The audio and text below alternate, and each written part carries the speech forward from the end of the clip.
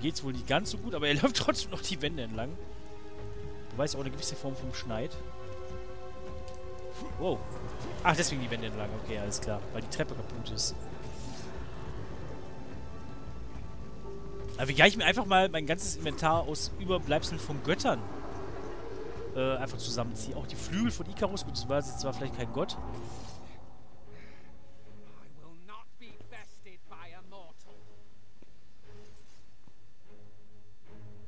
Das werden wir noch sehen.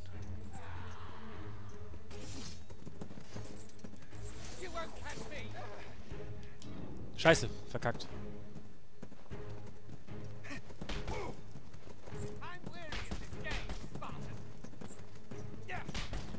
Hallo? Was mal so ein Dropkick, bitte?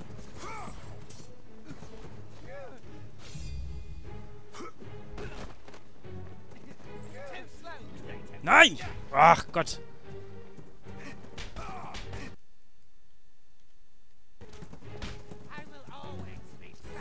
Ich weiß nicht, wie ich das provoziere, dass er seinen Dropkick macht. Oi!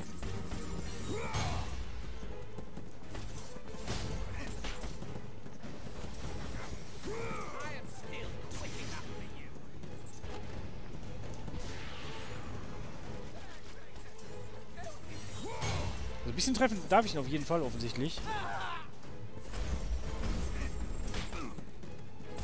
Nerv mich nicht.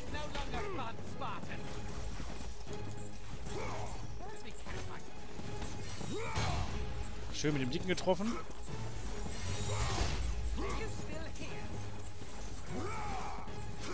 Bleibst du wohl stehen? Mensch!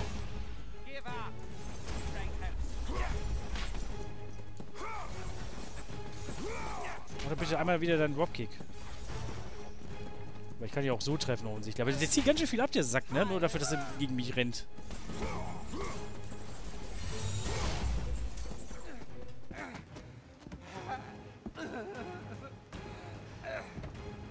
I thought Spartans fought with honor, and yet you seek to kill me when I have no way to defend myself? Not fair. But you have your own sense of honor, right, Kratos? And what has that honor brought you? Nothing but nightmares of your failure. Today you may defeat me, but in the end, Kratos, in the end, you'll betray only yourself. Ja, auf jeden Fall hat er was, was wir auch gerne hätten. Whoa!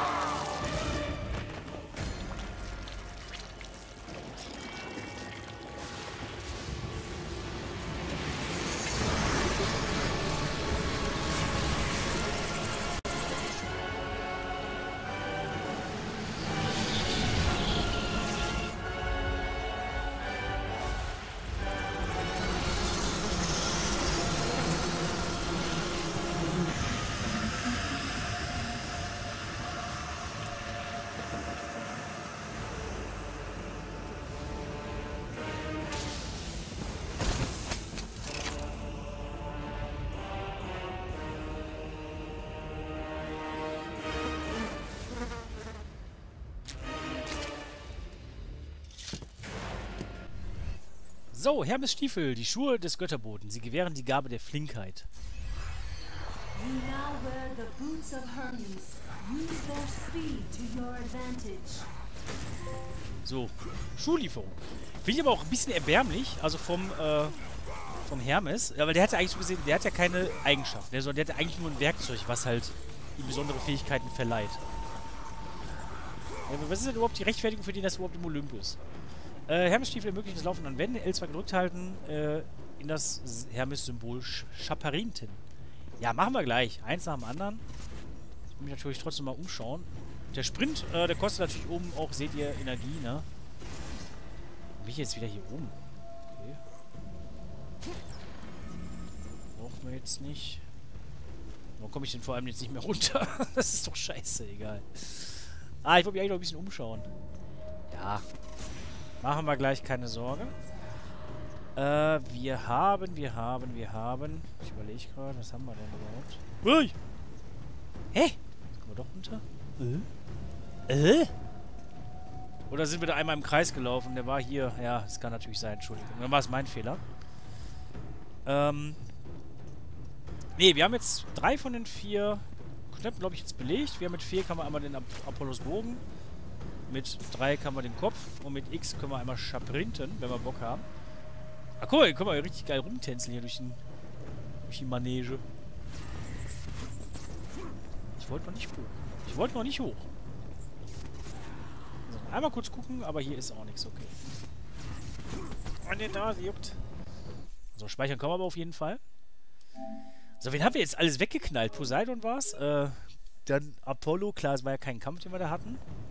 Helios, äh, Hades, Hermes. War es das jetzt bisher? Oh, okay, und, und zwei Titanen, ne? Gaia und wen auch immer. Den mit der Lava auf jeden Fall. Oder habe ich noch jemanden vergessen? Ich glaube nicht. Achso, cool, wir können jetzt... Ah, nice. Wir können in der Luft jetzt ausweichen. Das hat schon was.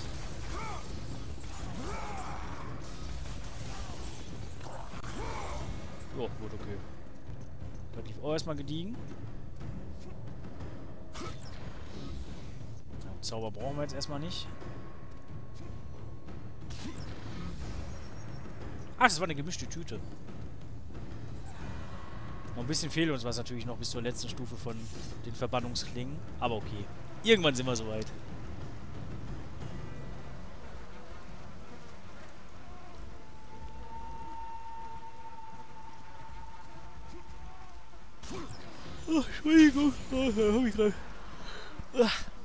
Einmal, einmal einen weggegähnt. Nicht aus Langeweile, nee, nee. Also, grad, also ich, das ist mega entspannt. Das klingt so total dumm. Gegenstandswechselbogen ist Apollo, Helios Kopf und Hermes Stiefel. Klar, das, was ich gerade gesagt habe. Ähm, nee, aber das Spiel, trotz der ganzen Action und dem Ganzen, was hier passiert, es ist für mich halt irgendwie so, so, so ein Wohlfühlspiel, ne? Es macht einfach Bock, hier zu erkunden. Das macht Bock zu kämpfen. Einfach brachiale Gewalt zu sehen. Also, es, ist ja auch schon eigentlich ja wirklich verherrlichen, ne? Kann man ja nicht anders sagen. Und, ach, falscher Taste. Äh, die Hintergründe sind zumindest klar. Wieso, weshalb, warum? Klar, ob das zu rechtfertigen ist, sei jetzt mal dahingestellt. Wenn man da jetzt mal eine politische, ich sag mal, Diskussion oder sonst irgendwas damit machen möchte. Aber, ey, es ist ein Spiel. Und es, es macht halt einfach Bock. Und audiovisuell ist es einfach hervorragend. So, also auch nochmal ein bisschen mehr Magie, die wir bisher eigentlich wirklich so gut wie noch gar nicht verwendet haben. Und wir haben jetzt auch bisher nur zwei Sprüche. Einmal unseren Spartaner-Kram. Also die Armee Sparta, so wie es hieß. Und zum anderen haben wir einmal die ähm, ja, Seelenbeschwörung von Hades. Also von Hades klingen. Oder Krallen? Das sind, glaube ich, Krallen, ne? So, da könnten wir auch hoch. Ja, gehen wir auch mal. Weiß, eine andere Möglichkeit gibt es jetzt hier gerade nicht. So, aber ich, ich persönlich finde es auf jeden Fall, um das Thema vielleicht mal kurz rund zu machen, jetzt gar nicht schlimm. Ne? Ich meine, es hat ja auch einen Grund, warum das Spiel ab 18 ist, ne? Äh, dementsprechend Leute sollten vielleicht jüngere Leute es halt auch noch nicht spielen, ne? wenn sie mit sowas nicht klarkommen. Aber auf der anderen Seite, wie krass das auch einfach zurückgegangen ist mit der äh, Sensibilisierung, zumindest, oder Sensibilität von Zensur und alles, wenn ich jetzt mal 15 Jahre zurückdenke, also im Jahr 2008, wie viele PlayStation 3 Spiele einfach noch geschnitten waren, ne? Äh, God of War komischerweise gar nicht. Aber da sind teilweise auch noch Spiele rausgekommen, die wirklich noch äh, auch indiziert worden sind. Äh, oder wo sie überlegt worden ist, soll man es in Deutschland noch rausbringen, die sind ja so empfindlich. Ich glaube, so eine Problematik besteht heutzutage gar nicht mehr, oder? Klar, so ein paar alte Sachen, die halt noch indiziert sind, die sind auch nach wie vor natürlich noch indiziert. Klar, aber es dauert halt ein paar Jahrzehnte, bis man die dann äh, von der Liste streichen kann. ich glaube, die Mo alten Mortal Kombat-Teile zum Beispiel sind jetzt von Phoenix, glaube ich, runter. Aber im Grunde genommen, oh, Alter, was krasse, krasse Beleuchtung. Aber was man halt heutzutage dann auch schon überall sieht, oder, oder, wie, was für brutale Spiele einfach jetzt auch so rauskommen, ohne dass überhaupt Gedanken darüber verschwendet wurde, ist das sinnvoll, das überhaupt in Deutschland rauszubringen? Oder ähm, ist es sinnvoll, da vielleicht eine geschnittene Version zu machen. Ich glaube, sowas gibt es heutzutage gar nicht mehr, oder? Oder so gut wie gar nicht, wirklich in seltensten Fällen. Ja, ganz krass war es natürlich noch zu PlayStation 1 und PlayStation 2 Zeiten, klar. Aber gut, die Zeiten sind vorbei. Ja. Dein Kopf ist gerade explodiert, kann das sein? So, ich würde gleich gerne mal meinen Dreieck-Konter mal versuchen. Wenn ihr noch Lust habt, mich zu schlagen. Ansonsten, gut, mach ich es beim nächsten Gegner. Okay, der ist, glaube ich, prädestiniert dafür. Aber es sieht nicht so aus, als könnte ich bei dem großartig was blocken, oder?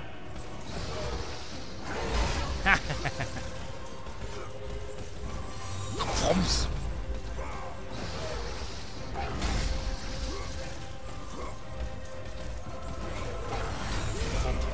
Nein, ich wollte dich doch eigentlich gar nicht so töten.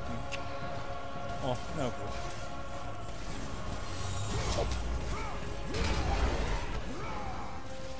Weg mit dem Kopf. Du brauchst was für den Kopf.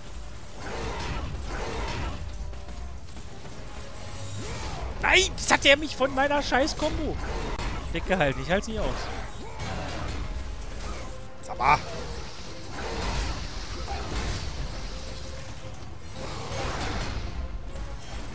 Cap fühlt sich einfach so gut an, ne? Also man könnte meinen, ich kann das Spiel vielleicht gut, aber es ist einfach so benutzerfreundlich. Ich habe den Kreisknopf da nicht gesehen, weil die Combo da gerade angezeigt wurde. Mein Fehler, Entschuldigung. Ich habe wirklich nicht gesehen, dass ich nochmal Kreis muss. so. Kann sein, der ist jetzt wahrscheinlich auch komplett durch, ne?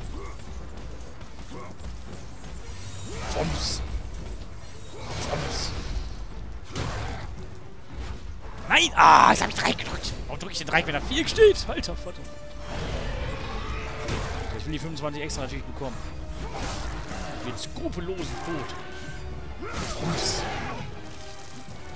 Ein bestes Beispiel dafür für Brutalität, wie sich das entwickelt hat, ist für mich immer noch Mortal Kombat.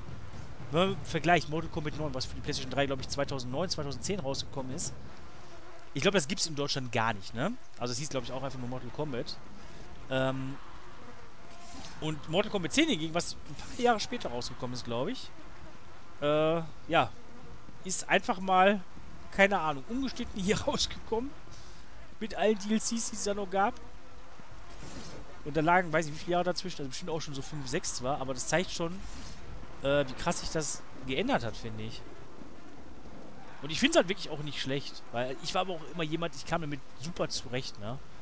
Also weder hat mich das verstört, äh, noch hat mich das irgendwie in einer Form negativ beeinflusst, dass ich jetzt denke, okay, ich muss jetzt Leute quälen oder Eingeweide auseinanderrupfen oder sonst irgendwas. Weil es ist genau wie bei Filmen, ey, das hier ist ein Spiel, das ist ein Medium, ne? Wenn es halt so dargestellt ist, ne, klar, auch gerade übertrieben dargestellt, dann ist es halt so. Aber das macht das Spiel jetzt für mich weder schlechter noch besser.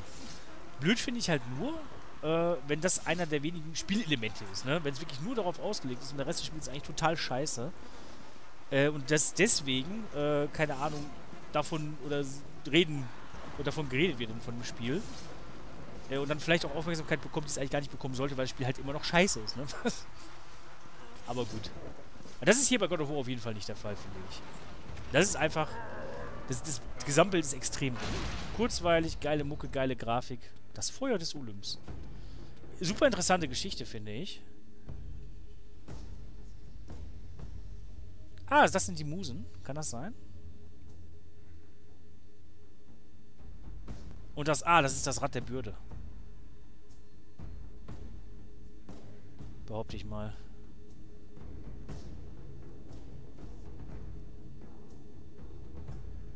Äh, speichern werde ich jetzt noch nicht, weil irgendwo waren hier doch Bogenschützen. Ich habe es doch genau gesehen.